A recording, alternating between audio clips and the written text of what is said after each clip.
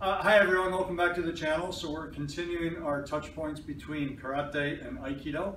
Um, there is a kata that we do called Seisan, where we come around like this, and there's this movement.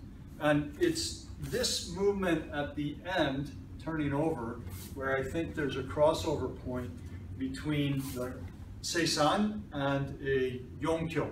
Um, Sensei, if I can borrow you. So if, uh, I'll just take your hand, easy, right? So when I come up here, so I've already done uh, this motion here. When I turn this up and over, then I can get a control uh, through this point here. Uh, so this is my understanding of it. Um, can work off of a punch, so if you're to throw a punch, catch in, up and around this way, um, and it can work off of either arm. So it doesn't matter which one we're working off of, we can work down this way.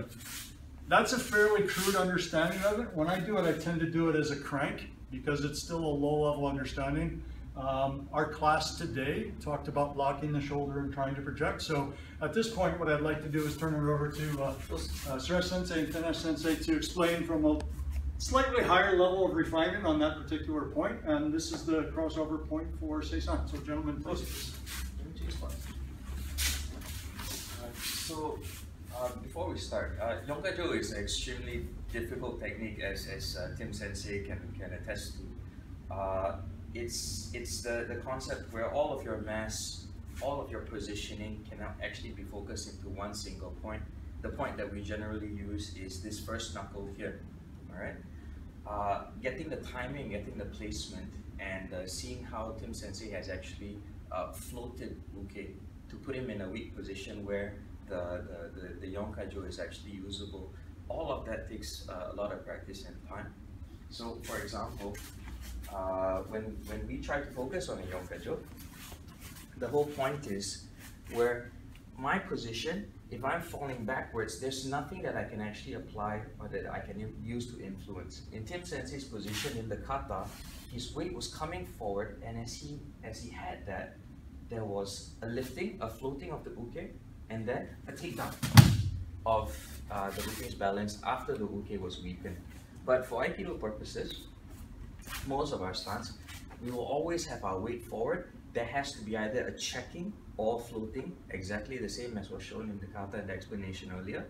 But when we do uh, the Yonkajo, we don't want to lift up and remove the, the palm from the uke. What, when this happens, what happens is my thumb becomes the fulcrum and I have to use the thumb as the fulcrum to crank and apply all the force when that happens, my shoulder comes up. We want to avoid that where possible. So ski.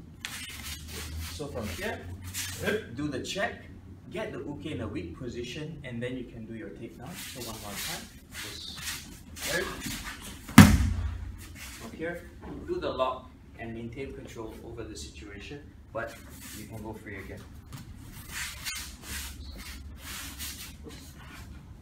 So I just wanted to also uh, show in the kata uh, where that point comes. So usually the kata is starting here and then it's coming out and there's a series of these punches. Different styles do it a little bit differently. And then there's usually some motion like this and then there's the turnaround and then this here and then this here this one.